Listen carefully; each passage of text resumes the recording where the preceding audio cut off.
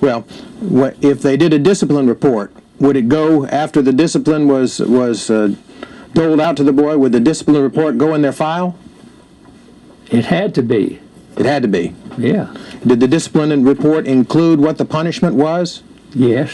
written on the report? Um, Not on the report, but, uh, there was a record of the boy being disciplined. And, uh, well, the, the rating board spoke for itself when it come to, uh, if he got a spanking, he got his regular grade. To come up and rank, you know.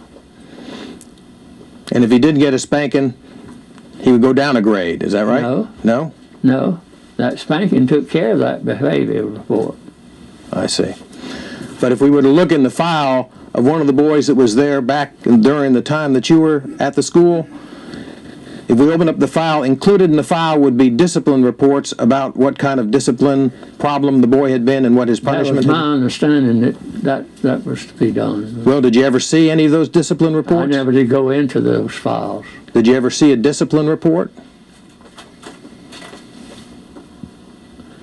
Did I see a discipline report for boy misbehaving? Yes, I sir. always, if I was a supervisor and the uh, house leader turned that report into me, if there's any, if a spanking was done, the director had to be the one to make the decision. The director had to be the one to make the decision. He made a decision whether he got a spanking or not. All right. Let me jump back for a minute. When you were at uh, the the home in Marianna, where did the boys come from? What parts of the state of Florida would bring a boy to Marianna? Before the Okeechobee School was open, uh, from all over Florida. And when did Okeechobee open? Well, it was in uh, 58 uh, or 59 maybe, because we had men to be transferred from our school to Okeechobee. When you say men, faculty types of people, people on the staff? Well, the superintendent and assistant superintendent, I mean, Mr. Sult was the first superintendent at the Okeechobee School, S-U-L-T. And uh, then uh, Frank Zitch was a assistant down there. Uh, Howard Guilford was the uh, director of the uh, color department down there. Emmett Davis was the uh, director of the, I mean, uh, yeah, he was a director of the uh, white department. And um, Mr. Quattlebaum was the uh, maintenance director. That's about all I can remember about them now. But uh, Once Okeechobee came into existence, how would the decision be made, if you know, as to whether boys would be sent to Okeechobee or to Marianna? That depended on the area they were from. It was a geographic decision? Yeah.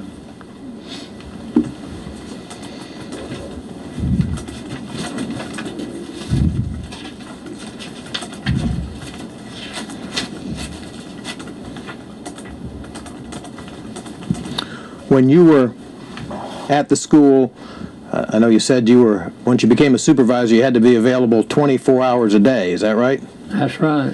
Uh, Did you have normal work hours? Yes. What were your normal work hours? Well, you, the day job at eight to, we had the boys come to the cottage at five. And, uh, then of course, uh, I don't remember what time. I think each cottage went to the dining room, uh,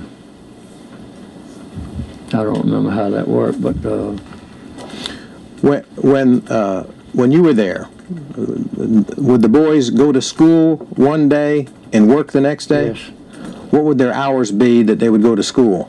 same hours as the work hours. And what were the work hours? eight to whatever time they get off, four thirty or whatever time they turn them loose at the cruise to get to the cottage. And did each boy have a work assignment? Yes. They they would stick with a work assignment for a defined period of time, whether it be in the kitchen or the laundry or yes. performing some function of the school. Mm -hmm.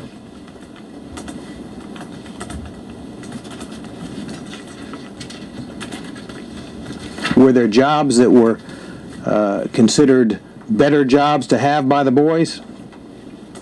Well, that depended on the boys. I mean, uh, they decided in, I believe it was a diagnostic center, uh, you know, what the boy was capable of, whatever job he was capable of doing, you know.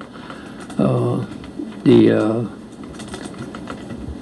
some was assigned to the band. Uh, well, like maintenance, and, different jobs of, like the dairy. The band, was the band a job? The band wasn't a job, but uh, that's they were assigned to the band like they were assigned to a crew, and uh, then the, they'd be in the band like today, and tomorrow they'd be in school. Okay. Uh, Let me shift gears for just a minute and let's talk about from when you first started working there through the late 60s. Uh, is it true that the school was segregated? Is it true that they were segregated? Yes, sir. Uh, and when did that change? Do you remember? No, but I, I think uh, uh, maybe in the, I'm not sure if it was in the 70s, but it seemed like it was in the 70s. Okay. Uh, do you remember why it changed? Do I know why it changed? Yes, sir.